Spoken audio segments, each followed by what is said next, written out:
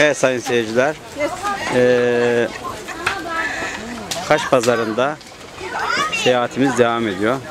Bayram öncesi Arefe günü ee, Kaş'ta beklenen yoğunluk olmadı. Arap ne diyorsun? Bugün ee, Gelene de Allah razı olsun, gelmeyene de Allah razı olsun. Güzel bir gündü, güzel Evet. bir gün. Her zaman. ee, bir şey soracağım. Ee, geçen yılki bayramla bu yıldaki karşılaştırınca Çünkü izinlerimiz kısa, onun için. evet izinlerimiz derken Yani e, hafta 5 gün için olmadı. Zaten iki gün yolda geçiyor. evet 3 günlüğüne de hiç kimse gelmez. Taşın müdavimleri geliyor, o da yeter. evet eski bayramları özlüyor muyuz? Özlemez miyiz? Hem de çok. Evet. Yıllardır eski bayramı özlüyoruz. Ya ben her zaman eski. Her yıl öyle konuşulur. Ya, ben eskileri özlüyorum. Çocukluğumun bayramlarını daha güzel. En çok neyi özledin? Mantar tabancayı. Vay be. A- Şey alıyor muydun? Mantar alıp böyle çat çat patlatıyor Evet. muydun? Hayatımız öyleydi. Evet. Dünyaya bir mesaj vermek istersen, vermek istesen. Bütün Burada. Müslüman aleminin kurban bayramı mübarek olsun.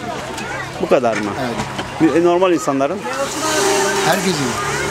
Herkes. Dünyada işte yani Müslüman ya, ya anlatsınlar ya. Sorun yok, problem yok. Biraz zorlan, biraz zorlandın yalnız ne diyeceğim? Seni seviyorum. yapacağım.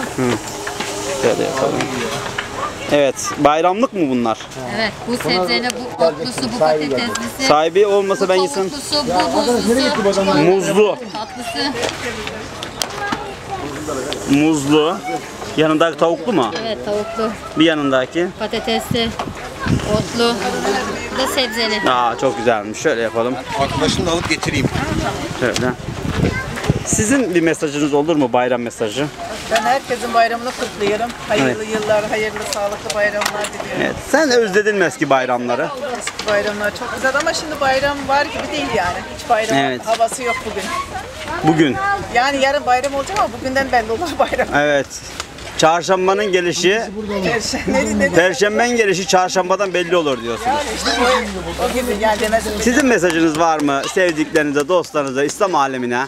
Var. Var. Alalım mesajınızı. Cebine düşündüğü kadar da vicdanını düşünsen salar. Vay be. Yalnız ağır oldu biraz ya. Abi, abi zaten memleketin durumu ağır. Evet. Ona göre konuşuyorum. Yani kendi kafama göre konuşmuyorum. Evet. Memlekete baktın şöyle bir. Memleketin durumu bugün bu diyorsun. Hayır alamet değil. Kıyamet. Kıyamet gelse de kopsak. Bir cuma günü kopmayacakmış diyorlar. Bu cuma, bu cuma mı bilmiyorum ama. Evet. Buyurun efendim. Aşkım biraz daha son koy içine ne olsun. Kaçta pazar devam ediyor. Acele söylesek böyle bir şey yapamaz.